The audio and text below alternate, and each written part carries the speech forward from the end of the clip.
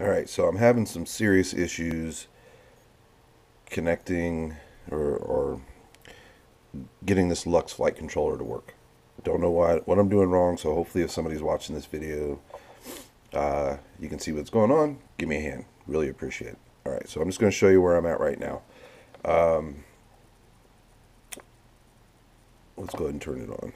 Let me go ahead and plug it in.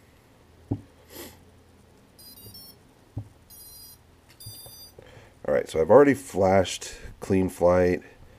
Um, it's kind of hard to tell. Let me turn this light off real quick and see, but I don't know if you can see it there, but on my flight controller over here, the lights, I have a solid blue light and a flashing green light. Um, the flight controller, I'm sorry, the uh, receiver is bound um,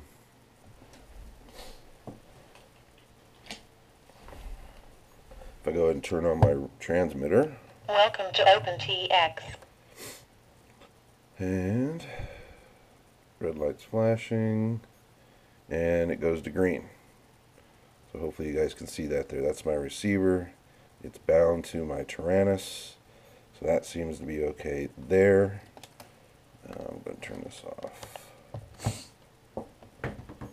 So again, um, blue, solid blue light, flashing yellow light, or green light. I'm going to go ahead right now, turn the camera up here. Um, close this. Let's go ahead and get Cleanflight open. Here it is. Uh, go ahead and connect. Uh, failed to open serial port. I've had this happen a few times. What I've had to do, oh, I'm not plugged in. Hang on. Let me try that again. Let's go ahead and get plugged in there. Flip that over. All right, now I'm plugged in. Sorry, I wasn't plugged into the, uh, the USB the, into the flight controller there. All right, plugged in. I'm going to go ahead and connect on Cleanflight. Uh, as you can see, it connected. Uh, it's reading the gyro. Now, ports, configuration, setup, all that kind of stuff.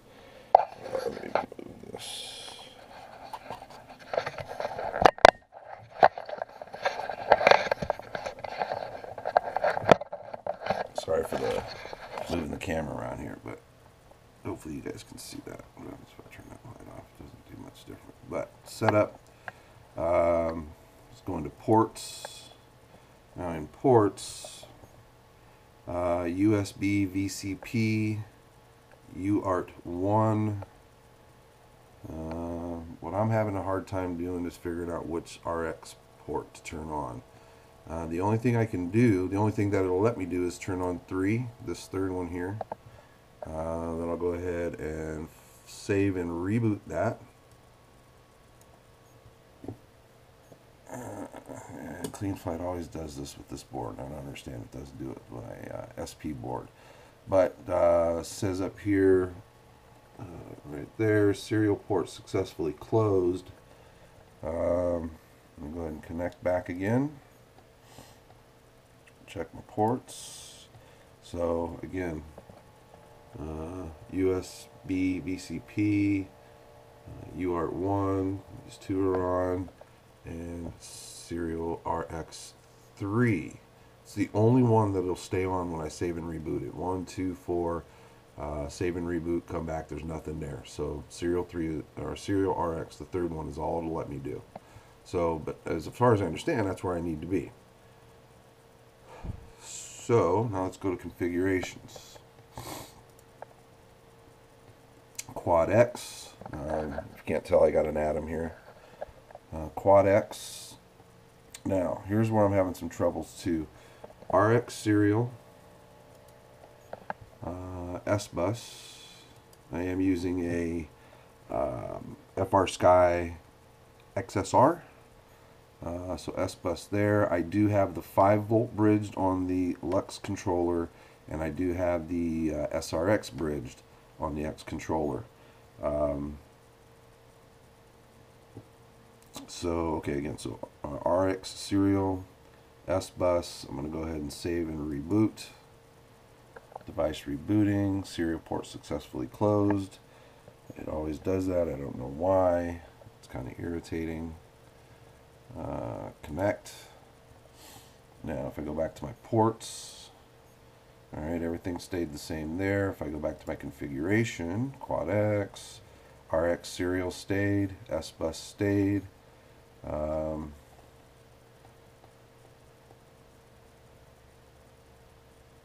now I go ahead and turn on the receiver.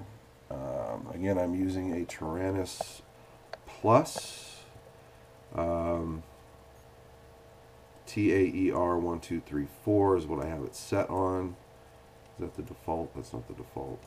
Uh, that's on the JR Spektrum. Um, go ahead and save that again just because I moved it. I don't think it made a difference. EEPROM saved. Now, nothing else works from here. When I go ahead, let's get this back up. Sorry if it's a little far away. Let me go ahead and get this turned back on. Welcome to OpenTX.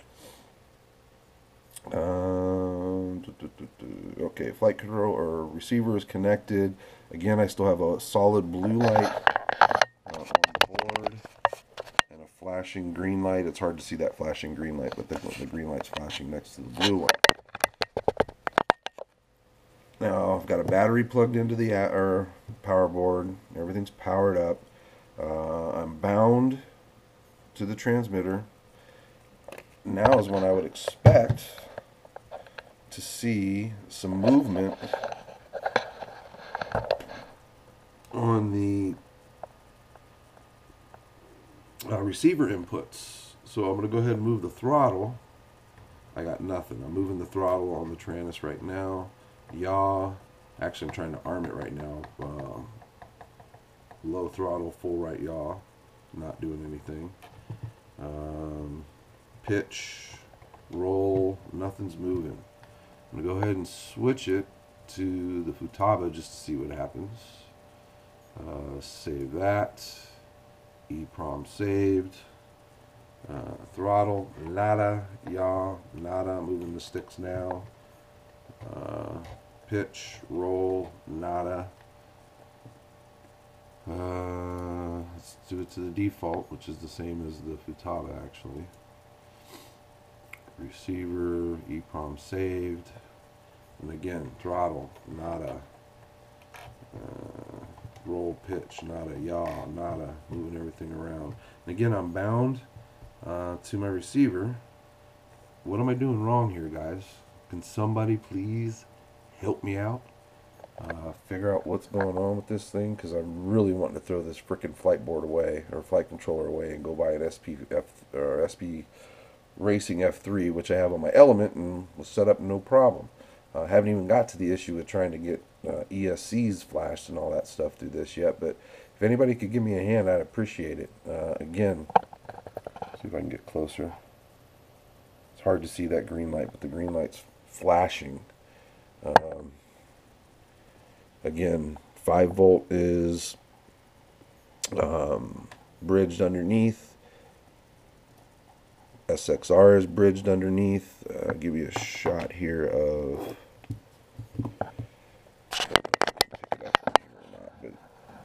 From left to right, looks like it's a little blurry.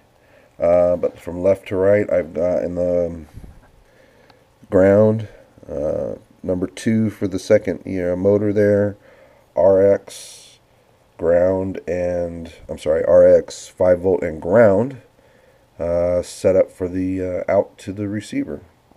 Need some help here, guys.